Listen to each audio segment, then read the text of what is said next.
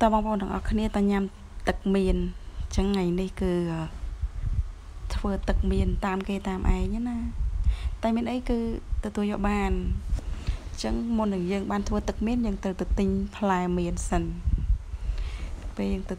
មៀនគឺទៅទិញនៅផ្សារมันមានមៀនហាសំខាន់ហ្នឹងគឺឃើញគេធ្វើវាស្រួល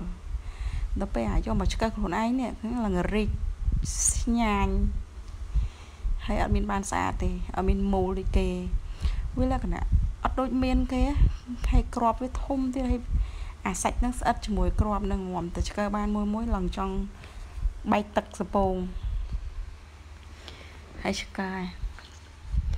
តែស៊ូឃើញគេធ្វើឡើងតំណងហើយមើល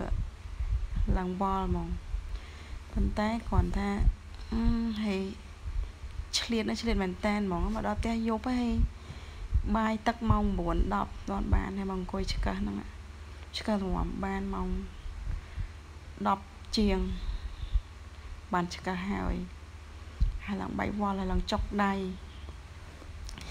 ហើយនេះបានតឆ្កឹះនាំមុខឯណាសល់ម៉ានកូនកូនបងនេះជួយឆ្កឹះតម្រាំទាំងហើយព្រោះ វា1គីឡូដែរតែវាបានសាច់តិចទេ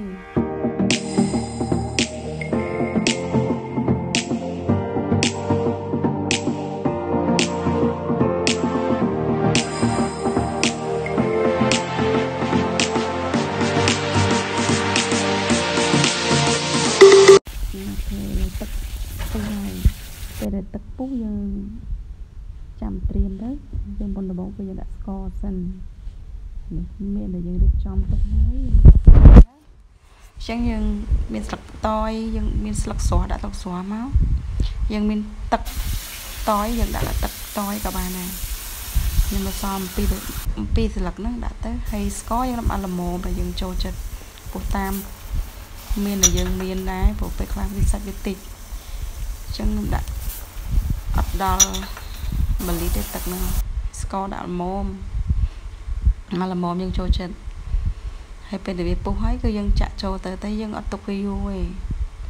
តែមកពុះទៅគឺបានហើយព្រោះយើងអត់ចង់ឲ្យវាតុនអាលាយអីមកពុះទៅគឺវាឆ្អិនហើយព្រោះយើងទុកយូរអាលាយវាអត់ឆ្ងាញ់ហើយអញ្ចឹងក្រោយពីមកពុះទៅចាំយើងបិទហ្គាសទៅហាពុះអីណាយើងដួសវាចេញទៅយើងកំបាច់ទុកវា ជំរាបដាក់តកកចូលទៅឈៀតហ្មងចឹងឯនឹងវីដេអូគឺមានតែប៉ុណ្្នឹងទេអរគុណច្រើនបងប្អូនទាំងអស់គ្នាបាយបាយ